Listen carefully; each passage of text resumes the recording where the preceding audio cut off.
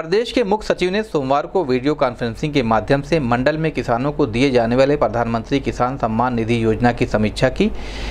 NIC building में NIC hall में आयोजित वीडियो कॉन्फ्रेंसिंग में जिला अधिकारी के विजयन पांडेयन, अपर आयुक्त Ajay Kant Saini, CDO Anuj Singh, ADM city R K Srivastava, CMO Shrikant Tiwari सहित संबंधित विभागों के अधिकारी मौजूद रहे। वीडियो कॉन्फ्रेंसिंग में मुख्य सचिव ने निर्देश दिए कि किसान सम्मान निधि के सभी लाभार्थियों को शत प्रतिशत योजना का लाभ दिलाया जाए। कोई भी पात्र किसान योजना से वंचित न रहे। इसके लिए संबंधित अधिकारी किसानों से संपर्क कर उन्हें योजना से अवगत कराएँ और उन्हें योजना के अंतर्गत मिलने वाले 6000 की धनराशि सुनिश्चित कराएँ। माइनस करके बाकी हम लोग उसमें से निकाल लेंगे। नहीं जो आप फ़ीड कर चुके हैं वो हम करते प्रदर्शित हो जाए। जो हाँ, किया गया है उस पर आप न पढ़िए। अगर जो आप और लोग का फील कर चुके हैं, मान लीजिए कि ग्रामीण बैंक अगर संस्कार से नहीं हुआ है तो उसको आपको फिर से देने की ज़रूरत नहीं होगी।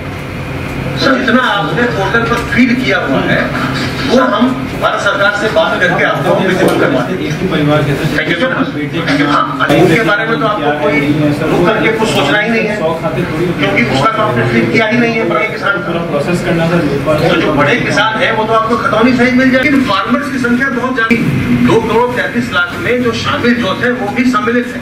और शामिल जोत वाले में ज़ाहिर सी बात है कि एक से ज़्यादा फार्मर्स होंगे। तो इसलिए जो टोटल नंबर ऑफ़ फार्मर्स आएगा स्टेट का लगभग ढाई करोड़ तीन करोड़ फार्मर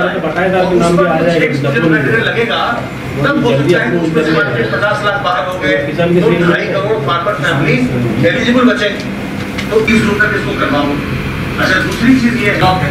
तो थर्टी फ़र्स्ट जुलाई तक फ़र्स्ट इंस्टॉलमेंट उनका मिलेगा। तो जिन लोगों का तक या मान लो दो चार दिन और लग गया, हो जाएगा। उनका भारत सरकार के पोर्टल पर डाल करके, फिर वहाँ से चेकिंग करवा करके आगे तभी उनको फ़र्स्ट इंस्टॉलमेंट मिल पाए। अदरवाइज़ चीज़ मेरे विचार से मुख्यमंत्री जी को बिल्कुल भी पसंद नहीं आएगा। उन्होंने कई बार कहा है कि सारे किसान को ये लाभ उपलब्ध करवा देना। दो मेरा